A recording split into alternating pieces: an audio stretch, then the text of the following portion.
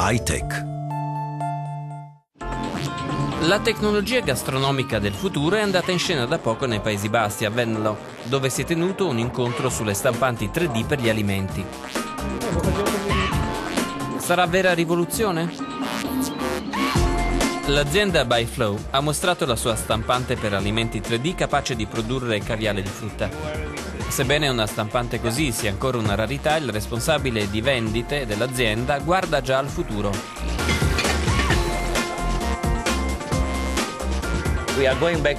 Stiamo andando indietro nel tempo, quando sono arrivati i forni a microonde e la gente si rifiutava di adoperarli perché non ne capiva la tecnologia.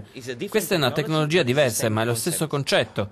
Quando questa mentalità entrerà in cucina si potranno stampare le proprie preparazioni. L'azienda Print to Test ha esposto il suo ultimo concetto plug and play.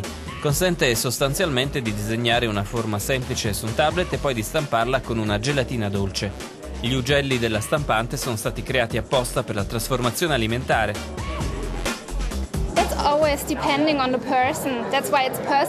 Dipende sempre dalle persone, per questo si può personalizzare. Se qualcuno ha carenza di vitamina D è possibile aggiungere un po' di vitamina D. Se qualcuno ha un altro deficit, per esempio non mangia abbastanza, è possibile aggiungere energia in forma di proteine o grassi. Oppure chi è obeso può aumentare la quantità delle fibre, in modo da potersi sentire pieno più velocemente ed evitare le calorie. Get feel full faster and do not take up so much energy. Alcuni supermercati in Europa stanno già testando stampanti per fare delle torte personalizzate, altri offrono dessert stampati. Sarà questo il futuro?